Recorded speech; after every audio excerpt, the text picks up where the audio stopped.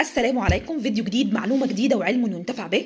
في الفيديو اللي فات اتكلمت عن الفرق ما بين التانية الملونة والنخالة البيضة وقلت لكم إزاي تقدروا تعالجوهم في البيت وبكل بساطة. وبما إننا داخلين على صيف نكمل بقى آه، ال- الأمراض الجلدية عشان آه، نكون خلصنا السلسلة ديت وتعرفوا تعالجوها وأنتم موجودين في البيت.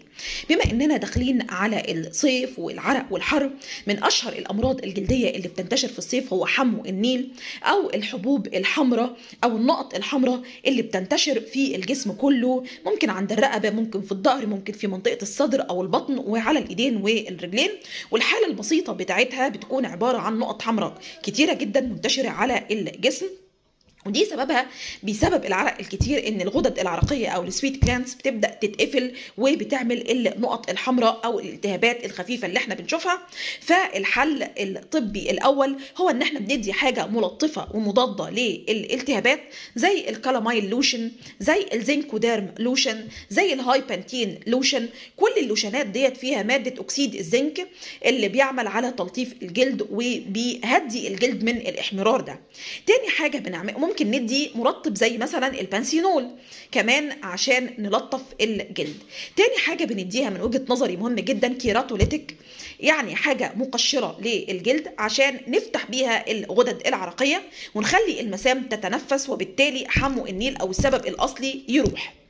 في بعض الحالات اللي آه، بيكون فيها يعني حمو النيل بيكون فيها هرش شديد وحكة. في الحالة ديت بندي حاجة antihistaminic أو مضادة للحساسية. زي أدوية الحساسية بتاعة الجيل الثالث اللي هي آه، زي التلفاست 180 أو بنديه حبايه كل- أو الهيستازين أو الكلاريتين حبايه كل آه، آه، ليلة لمدة 10 أيام مثلا. ده لو كان حمو النيل بيصاحب للحساسية أو بيصاحب ل آه، يعني حك يعني حكة وهرش. في بعض أنواع حمو النيل بتتطور إنه بتكون حبوب صديدية فيها صديد وليها رؤوس. في معنى كده إنه في عدوى بكتيرية حصلت bacterial infection فبالتالي في الحالة ديت مفروض إن إحنا ندي مضاد حيوي. طبعا على حسب السن والوزن بنبدأ ندي المضاد الحيوي.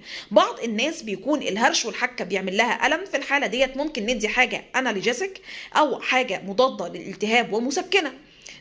زي ال Cetal زي ال Catafly زي ال Brufen آه، آه، قرص أو شراب على حسب هو طفل أو كبير. بس أساس العلاج هو ال Calamyl lotion مع حاجة keratolytic ب آه، يعني زي مقشرة للجلد عشان تفتح الغدد العرقية. وبكده نكون قلنا آه، حمو النيل ببساطة وإزاي نعالجه في البيت.